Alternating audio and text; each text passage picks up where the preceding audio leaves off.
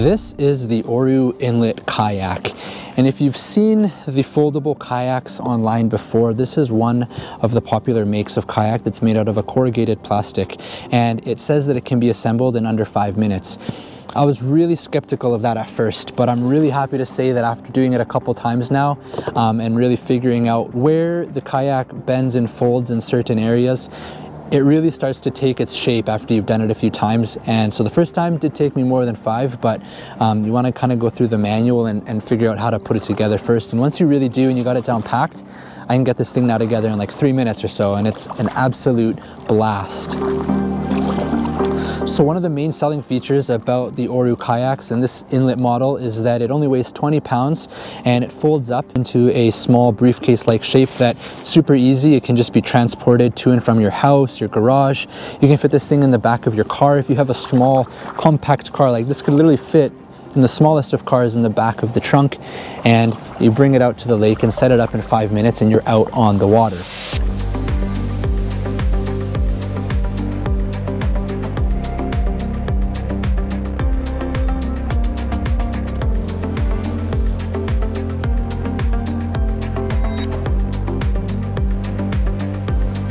If you've ever kayaked before, you know that the worst part about it is honestly the transportation of getting it to and from um, your home and then to the water. Like some kayaks are upwards of 100 pounds. You don't have much space. This is an absolutely amazing option that can literally fit in the closet of your house. I've used it now probably more than a dozen times and the more you practice the better I would say you get at it. But the kayak itself responds really well to your paddling because it's so lightweight. Um, it's just really easy to actually maneuver and uh, go through the water now there's also something to be said about the durability because this thing's made from like a corrugated plastic. And the first thought was that it might have some sharp edges. And one thing that's really nice is that Oru did such a great job. Um, all of the edges are folded over. So there's not a single sharp edge on this whole thing.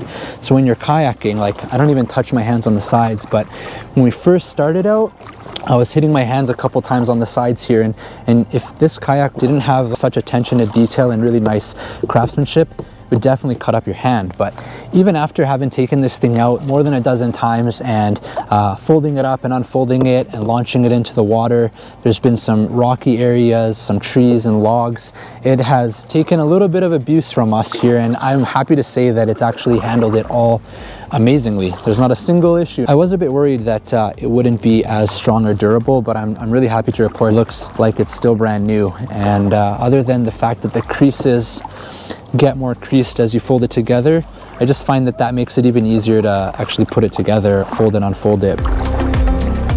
So that's my initial impressions of the Oru Inlet kayak. It's really good for the weekend adventures and someone that just wants to be able to get out and go kayaking quickly and easily. If you found this video because you're looking for reviews on foldable kayaks, I'm really happy to say that this thing has lived up to all of my expectations and more. And being able to just pack it away for pretty much any adventure makes it something that we bring out way more often with us than I imagine we would if we had a full-size kayak.